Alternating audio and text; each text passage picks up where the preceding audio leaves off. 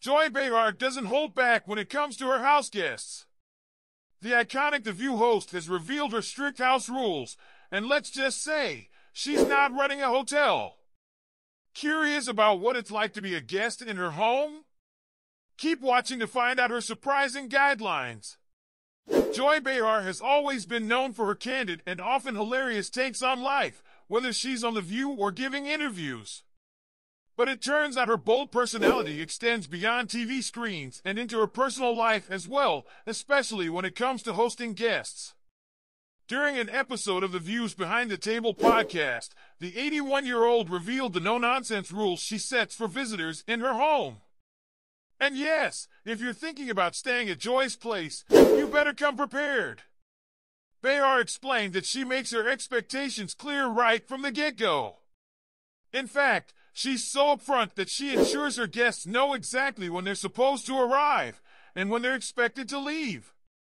I'm strict about it, Behar shared. I don't have any problem saying, so you're coming Friday and leaving Sunday, right? And if you're someone who enjoys a long, extended stay, well, think again. She quickly added, I'm not running an Airbnb. But it doesn't stop there. Behar's guests also need to bring their own sheets. While it's not entirely clear, if she still enforces these rules now that she's a multimillionaire with homes in Sag Harbor and New York City. It's pretty clear that Joy prefers her space and likes to keep things simple when it comes to guests. The co-host of The View has come a long way from her early, pre-fame days, but she hasn't lost her no-fuss attitude. And considering her lucrative career, which brings in around $7 million annually, according to OK Magazine, she probably doesn't need to be more accommodating.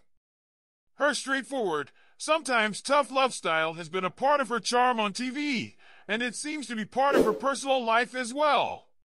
Joy's luxurious lifestyle might have softened her stance, but her rules for visitors still reflect a woman who values her time and space.